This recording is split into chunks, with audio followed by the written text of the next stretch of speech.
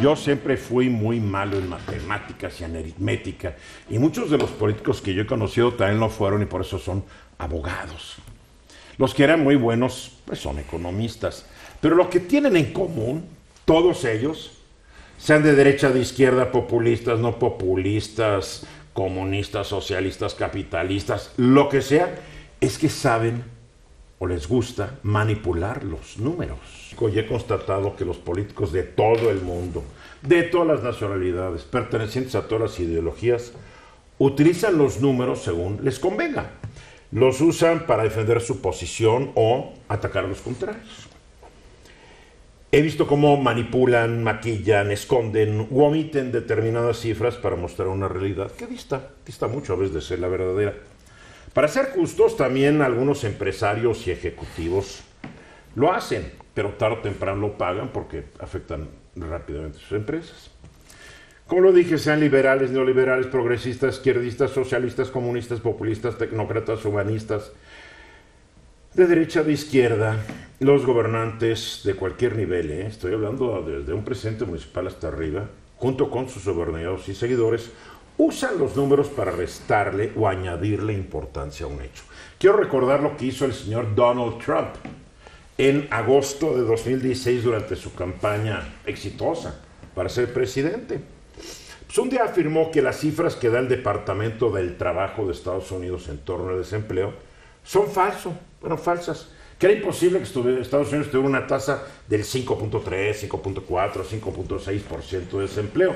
En ese momento, cuando lo dijo, la cifra oficial era del 4.9%. Entonces dijo, no, esto es falso. En Estados Unidos el desempleo está entre el 18 y el 42%. Obviamente, ¿qué buscaba? Buscaba desprestigiar al gobierno de Barack Obama y debilitar más a la de por sí ya débil contrincante que tenía, que era Hillary Clinton nadie nunca, le, cuando le preguntaron, oye, ¿por qué del 18 al 42 ya no decía nada? Él nomás decía, no, porque estas cifras las hacen personas que trabajan en el Departamento del Trabajo de Obama. Entonces, esto lo quiero traer a colación porque, eh, así como él cambió camaleónicamente su punto de vista, porque apenas llegó a la presidencia, los mismos numeritos, los usó. Es más, ahorita la tasa de desempleo se acaba de anunciar en Estados Unidos en junio, fue del 3.7, un poquito arriba del 3.6 de mayo, y él presumiendo, vean qué buenas cifras y esto, soy un genio. El mismo departamento del trabajo que él desestimaba y mandaba al diablo. Ok. Y una conducta similar es la que yo observo ya desde hace un buen tiempo en el presidente de México, Andrés Manuel López Obrador, al referirse a la recesión que organismos públicos, privados, economistas de todos los colores están diciendo ya existe, ya estamos en una recesión. Con, que la recesión es cuando la economía durante dos trimestres consecutivos va creciendo cada trimestre menos que el trimestre anterior. Para el presidente, yo, yo lo volvió a decir en su conferencia de prensa, quienes afirmamos que hay una recesión somos nostálgicos de la era neoliberal. Así lo dijo, más o menos y que los organismos encargados de medir la marcha de la economía, como son el INEGI y el Banco de México, pues están aún en manos de neoliberales egresados del ITAM.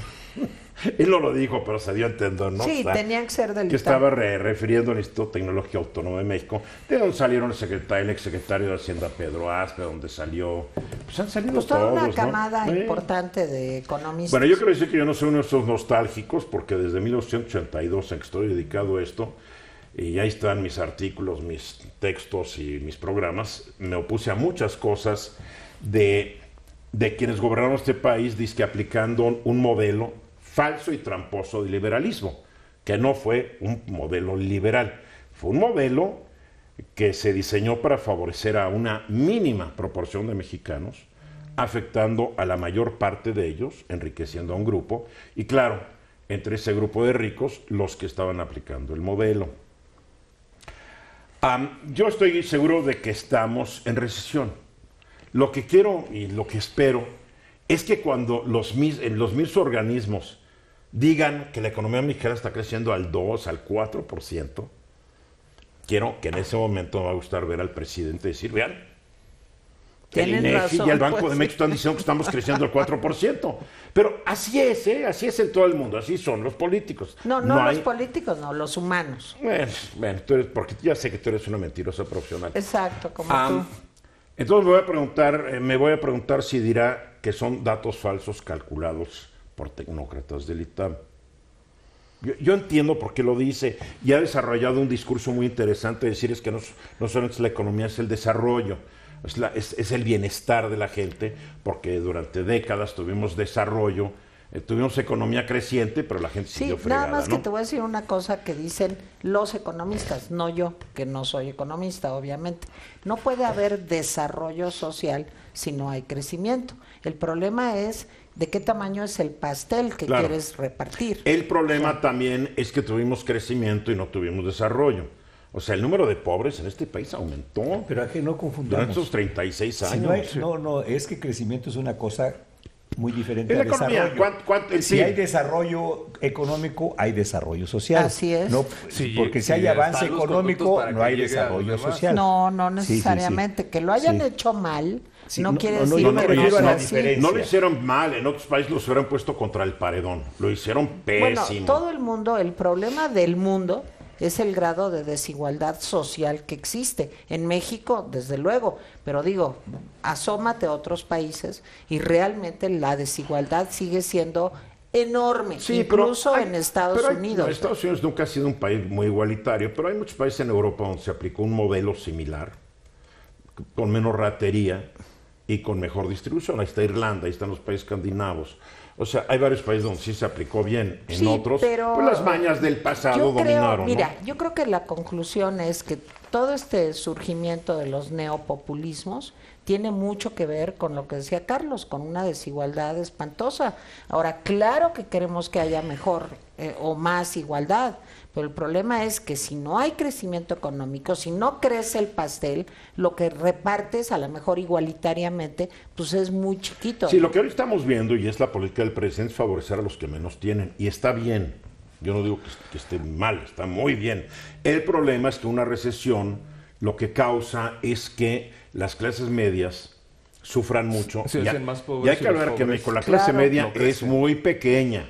de por Sí, sí. comparado con las clases medias de otros países Sí, es es la-. Y es la que mantiene al país con sus impuestos, etcétera. Porque ya vimos que a los ricos las les que condonaban los contratan impuestos. más, ¿no? las microempresas, Sí, las sí. pequeñas empresas. Sí. Entonces, está bien que se reparta lo poco que hay, pero sí hay que estimular la economía. En la Ciudad de México, la construcción está parada. Parada Sí, por una todo- todo decisión el año. del gobierno de la año. Ciudad de México. Eh, Las señales que ha mandado el gobierno han atemorizado, a mi juicio, exageradamente a los inversionistas, porque antes tenían la mesa puesta y ahora les dijeron, ustedes traigan sus cubiertos. ¿Cómo? Si antes pedías cubiertos, servilleta, plato, y me salía muy, muy económico, ¿no? Se han cambiado las reglas del juego y el capital, cuando le cambian las reglas del juego, sean las que sean, huye hasta ver cómo van. Ahora, yo sí hablo con inversionistas y con gente de- del extranjero y siguen viendo a México fenomenalmente. Es un- un- la población de México, 130 millones de habitantes, un mercadazo, la cercanía con Estados Unidos, una gran ventaja. O sea, sí lo ven. Claro que los mexicanos, como los locales de cualquier país, siempre tendemos a ver las cosas peor Aquí que los que vienen punto de muy fuera. importante. La semana pasada Gustavo de Hoyos, de la Coparmex, dio a conocer una estadística donde habla de que la corrupción ha disminuido de- a partir del 1 de diciembre a la fecha. Y esa es una señal. ¿Cómo la midió el señor Ah, Gustavo? que- Hablando hay con que los empresarios, yo Sí, leí pero eso- también el sí, pero eso no es- No, no, pero es un O sea- indicador de, que, de, de que en la lucha contra la corrupción no se va Ahora, mal. hay que hablar de esos empresarios con quien consultó el señor de Hoyos. Hay que preguntarle cuántos de esos empresarios están contentos de que ya no pueden meter lana para que les den un contrato. Porque por un lado dicen, se ha bajado la corrupción, pero hijo, qué mal nos está yendo, porque antes con las reglas del juego podíamos dar un embute, una No, pero- mordida por aquí y nos daban el el, contrato. el famoso guante, ¿no? Sí, el Mira, guante, lo la que dijo guante, Gustavo de ellos yo creo que sí es interesante Es porque dice que bajó la corrupción de 42% a 36%. Pero ¿cómo se midió? A mí me gustaría ver el estudio. en ¿no? una encuesta que hizo entre los Él, miembros de la. Coparmex. Bien. Bueno, pues Sí. son empresarios. Sí, pero es un grupo. Es un grupo. No es, no es una encuesta general para todo el país. Así O es. sea, si, si al presidente le criticamos que él también tenga esa visión, es un indicador, pero no es el indicador. Porque si hubiera salido, Yo le quiero si más la corrupción, se hubiera magnificado. Pues sí, y es más, el asunto. lo único que es bueno es que viene de un tipo que es crítico el 99% de su Así tiempo. es, por eso bueno es un indicador.